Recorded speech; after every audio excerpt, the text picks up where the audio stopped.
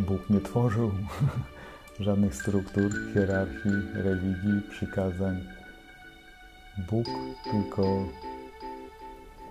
to, co nazywamy Bogiem, bo to też jest ludzkie określenie. Ja wolę może pojęcia takiego jak mamo, tata.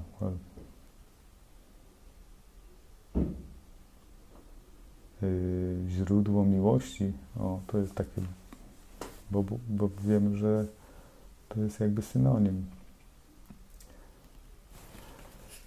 tego tej świadomości, która tym wszystkim rządzi i tej energii, która, bez której by nie mogły nawet y, funkcjonować te alternatywne nieba, takie jak tutaj na przykład na Ziemi, czyli Matrix.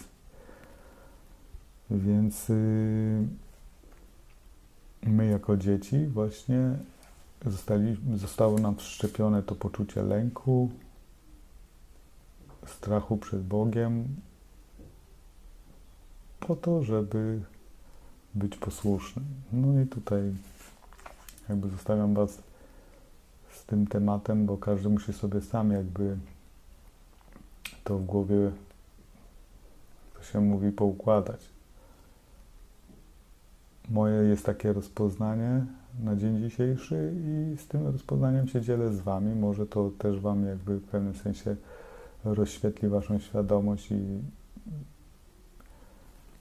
co niektórzy przejrzą na oczy i zobaczą, czym jest prawdziwa miłość, a nie ta, która jest serwowana właśnie poprzez jakieś tam struktury religijne.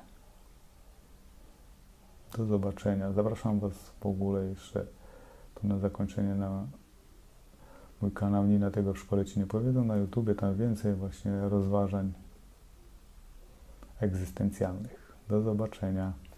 Thank you.